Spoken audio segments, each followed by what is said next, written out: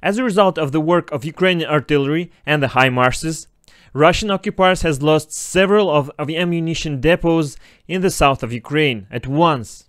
Last week's Ukrainian forces actively destroying ammunition depots uh, of the Russian forces in the south of Ukraine. In recent week, the armed forces of Ukraine have worked very hard on the occupiers' warehouses.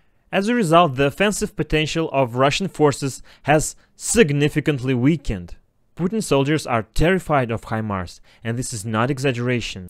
Intelligence report that in recent days Russian forces are moving all the ammunition by cars directly to the uh, active zone of hostilities. This is direct evidence that Ukrainian forces has turned the tide and now they have the advantage and in some mm, in some month we will see that they will slowly gaining territories back now it's really hard for Russian forces to fight against Ukraine without ammunition. So there is so much logistics now uh, they need to move all the ammunition because um, the ammunition is really heavy and you cannot move a lot of, it, of this by cars.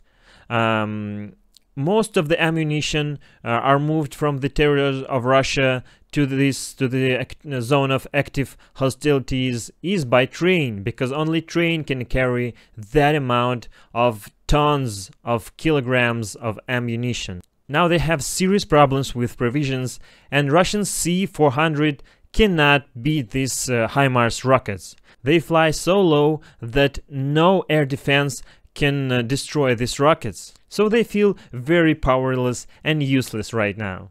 The numbers of deserters is growing among this information about ammunition depots. So the guards of warehouses are running because guarding of the remaining warehouses under the sights of HIMARS is guaranteed death.